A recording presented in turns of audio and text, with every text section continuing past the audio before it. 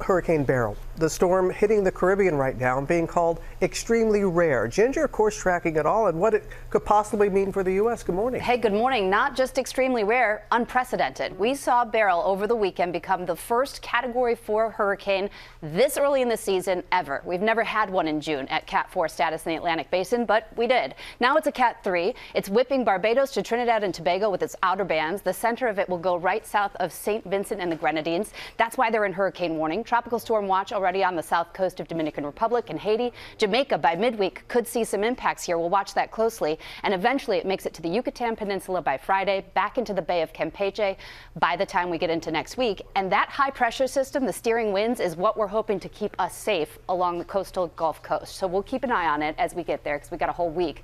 New Bedford, Massachusetts, though, just showing you some of the nearly 200 severe storm reports. You had all of that damaging wind. Today, Charleston, Savannah, Georgia could see mm. two to four inches of rain, upwards of six. So very big start to the week. That high that's keeping Beryl south it's also making New Orleans feel like it's almost 118 degrees. Yeah, so my family's I'll get into there. the heat. Yeah, my family's there. They, yeah. they were telling me about Melting. that. Yes, that's right. All right, Ginger.